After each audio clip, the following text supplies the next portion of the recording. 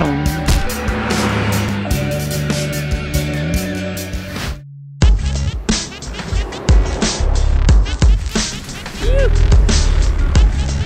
We're at Jester House right now, located between Nelson and Motueka. Now it's a beautiful wee cafe restaurant here, nestled right into the uh, New Zealand countryside with an excellent outdoor, indoor sort of dining area. It's a great place to come on a sunny day like this. The best part about it though, for a couple of dollars, you can get a punnet of meat and you can actually feed the tame eels that are just right down there.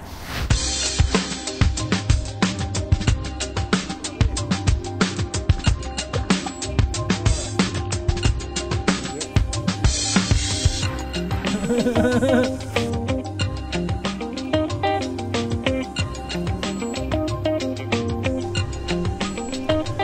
uh, my meat's almost gone. They're pretty hungry fellas, so um, I'll just dish out this last bit and then we'll pop inside for a look.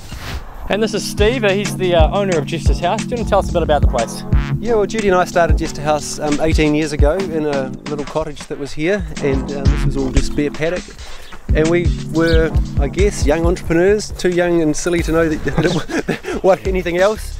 And we wanted to offer hospitality to everybody, really. So we built a place that was open to, to all ages and all types, from you know hippies and weirdos to old ladies to you know I think the oldest person we've had here is 104.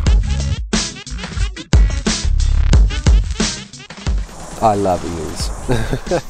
The t-shirt to suggest. yeah, team t-shirts, yeah. Have you trained them to do any tricks?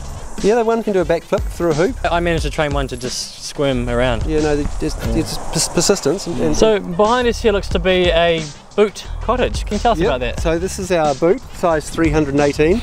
Um, it's a fairy tale lover's accommodation, really. So it's just built for two. There's a, a bedroom upstairs, lounge downstairs, um, bathroom.